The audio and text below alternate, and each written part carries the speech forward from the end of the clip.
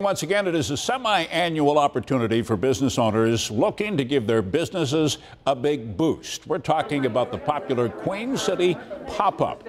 It's a program that started a few years ago that offers free rent space in a downtown Buffalo storefront.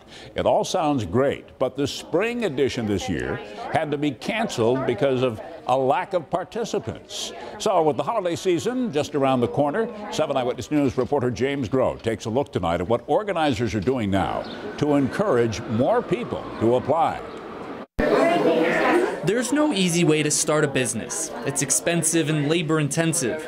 But the Queen City pop up is trying to make that a little easier the Queen City pop-up was a great opportunity for us to actually have a brick and mortar retail space. The project is run by the Buffalo Urban Development Corporation. It offers storefront at the Market Arcade in the Theater District and covers rent, Wi-Fi, and utilities. It owns the Atinga Project USA. He was part of the pop-up in 2016. We were able to just, you know, also experience what it's like to have to run a retail uh, space. Since 2014, there's been a Queen City pop-up twice a year once in the spring, once in the winter.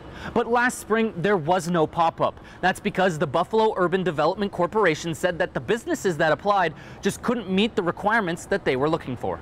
Issues with um, being able to participate in both initiatives because they um, were also participating in other summer markets. And Brandye Merriweather is the vice president of the Urban Development Corporation.